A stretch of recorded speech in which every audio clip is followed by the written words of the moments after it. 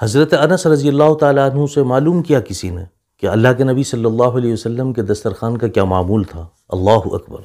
हज़रत अनस रज़ी अल्लाह तु फरमाते हैं कि अल्लाह के नबी सल्लल्लाहु अलैहि वसल्लम पहले ख़ुद तशरीफ़ रखते थे, फिर दस्तरखान बिछा करता था, फिर अल्लाह की नेमतें आती थीं, फिर आप तनाउल फरमाते थे और फिर उसके बाद अल्लाह की नेमतें उठवाते थे, फिर दस्तरखान उठाते थे, फिर आप ख़ुद उठा करते थे। ये मेरे मुस्तफ़ा सल्लल्लाहु अलैहि वसल्लम का मामूल था। आज का क्या मामूल है? मेहमान आ गए, खाना बन गया, दस्तरखान बिछ गया, अल्लाह की नेमतें रखी गईं, मेहमानों से कह रहे आइए साहब तशरीफ़ लाएँ। और मेहमानों को इल्म है कि ये खाना हमारे लिए बनाया गया है, ये दस्तरखान हमारे ही लिए सजाया गया है। लेकिन मेहमान का मिजाज क्या? है बैठो, अभी आ रहे हूँ मैं। आप चले। एक दूसरे से कहेंगे, आप चले। अरे अल्लाह के वली सोचो अल्लाह के बंदो, अल्लाह की नेमतें इनकी कदर करो। फ़बी अय आला रबी गुमा का ज़िबान बताओ तुम अपने रब की कौन कौन सी नेमतों को छुटलाओगे हैं? अल्लाह का, अल्लाह की दी हुई नेमतें मज़े लेके खाओ, अल्लाह का ज़िक्र करते हुए खाओ। सुबहान अल्लाह अल्हम्दुलिल्लाह माशा अल्लाह खुश होते हैं। अल्लाह खुश होते हैं। सोचो कि ये नेमतें अल्लाह ने क्या सभी को दी हैं? ऐसा नहीं है। ऐसा नहीं है। आपको सोचना चाहिए कि अल्लाह की नेमतों को शुक्र अदा करते हुए खाना चाहिए। लेकिन अफसोस सद अफसोस, आज बड़ी बड़ी शादियों में बड़ी बड़ी पार्टियों में आप देखें, बड़े मेहमान होते हैं, इतना सा खाना खाते हैं, इतना सारा फेंक देते हैं। और वो ख़ुद जो तकरीब के ज़िम्मेदार हैं, यानी साहिब खाना है, वो ख़ुद अपने सामने अल्लाह की नेमतों को कूड़ेदान में डलवाते हुए देखते हैं। खुद डलवाते हैं। अल्लाह के कहर से नहीं डर रहे, अल्लाह के अजाब से नहीं डर रहे। आप खुद सोचो, क्या ये नेमत अल्लाह ने सबको अता की है? एक एक शादी में सौ सौ तरह के खाने बनाए जा रहे हैं। सौ लुक में आदमी खाता नहीं है, कभी भी आप देख लेना। यार ज़िंदा सोहबत बाकी, आप प्रैक्टिकल करके देखें, सौ लुक में आप नहीं खा सकते। लेकिन उसने अपनी शान शौकत दिखाने के लिए अपनी नाक की खातिर सौ खाने तैयार करवा दिए। लीजिए साहब, आप आइए, खाइए। सब खाना बर्बाद हो रहा बिरान हो रहा मिस्किन को खिलाते, गरीबों को खिलाते, दिल से दुआएँ निकलती। आप देखें, अमीर आदमी खाना खाने के बाद उसको हजम करने के लिए तीन चार किलोमीटर पैदल चलता है। गरीब आदमी इस खाने खाने के लिए कई किलोमीटर पैदल चलता है। एक खाना हजम करने के लिए चल रहा है। एक खाना खाने के लिए चल रहा है। आप कहाँ जा रहे हो? सोचो आप ज़रा, ये कदरें कहाँ चली गई? क्या पहले वक्त आपका ऐसा ही था?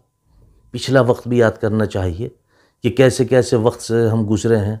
आज अल्लाह ने अगर हमारे लिए ये वक्त अच्छा किया है, हमारे लिए बेहतर किया है तो इसी तरह से अल्लाह की नाशुक्री करनी चाहिए। अल्लाह ने कुरान करीम में फरमा दिया ल इन शकर तुम ल अजीदन नकुम व ल इन कफ़र तुम इन आज़ाबी लशदीद। अल्लाह सुबहान वाली फरमाते हैं, जो नेमतें मैंने तुम्हें दी हैं, अगर तुम उन नेमतों का शुक्राना अदा करोगे तो मैं इन नेमतों में बढ़ोतरी पैदा कर दूँगा। और अगर तुम इन नेमतों का शुक्राना अदा नहीं करोगे तो मैं तुमसे वो नेमतें भी छीन लूँगा, जो तुम्हें मैंने पहले दे रखी हैं।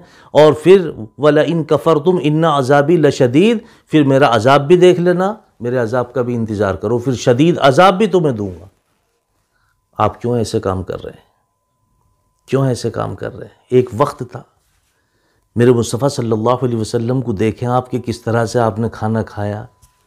वो तरीक़ा सब ख़त्म हो गया। अब से पहले भी, चंद साल पहले का भी ये मामूल था कि गलियों में जो कनातें लगा करती थी नालियों पे, मेज़ बिछा करती थी, उसके ऊपर एक चांदनी बिछती थी दो जग, दो चार गिलास रखे जाते थे, खिलाने वाले बड़े ज़िम्मेदारी के साथ खिलाया करते थे, खाने वाले खूब मज़े ले ले के खाया करते थे। आज सारा निज़ामी धर्म भरम हो गया।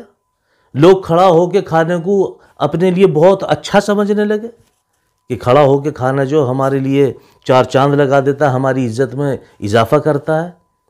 आप ईमानदारी से बताओ, खड़ा होकर खाना कौन खाता है? इंसान खाते हैं, जानवर खाते हैं। और जानवर खाते हैं? जानवर चरते हैं। एक खाना यहाँ रखा, एक खाना वहाँ रखा, पानी उधर रखा है। सोचो ज़रा, अगर आदमी खाना खा रहा है लुकमा फंस जाए, पानी लेने के लिए कहाँ जाएगा? कौन दौड़ा दौड़ा फिरेगा? प्लेटें हाथ में हैं, खाने की तलाश में हैं। अरे वो वक्त सारा भूल गया, जब बिठा के खाना खिलाया करते थे, बैठ के खाना खाया करते थे। हैं? सोचना चाहिए मेरे भाइयों।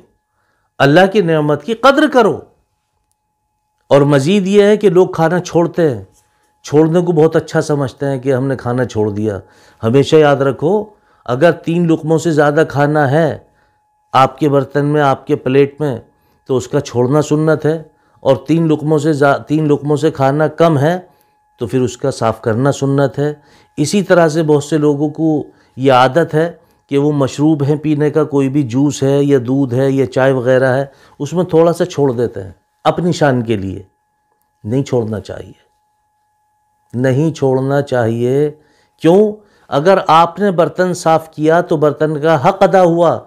और इसका तर्जुमा आप समझ लें कि जो अल्लाह आपने हमें नेमत अता फरमाई थी, हम उस नेमत से शिकम शेर हो चुके हैं, अभी हमें और नेमत चाहिए।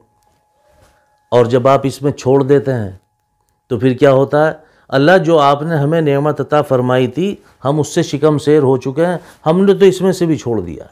अब हमें और नहीं चाहिए। आप ऐसा चाहते हैं अल्लाह से? सोचो ज़रा।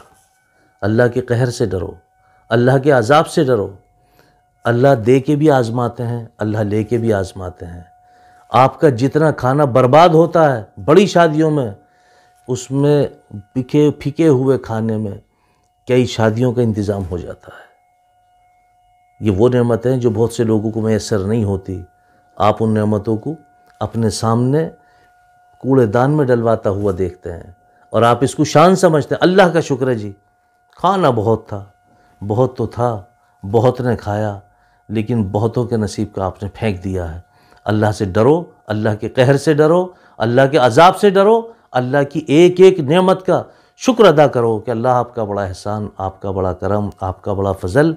अल्लाह जो मुझसे गलतियाँ हुई हैं, मुझे माफ़ फरमा और अपने हुक्मों के मुताबिक ज़िंदगी गुजारने की तोफ़ी अता फरमा और अपनी एक एक नमत का मुझे शुक्र अदा करने के लिए कबूल फरमा। अल्लाह हम सब की हिफाजत फरमाए, समझ की तोफ़ी नसीब फरमाए।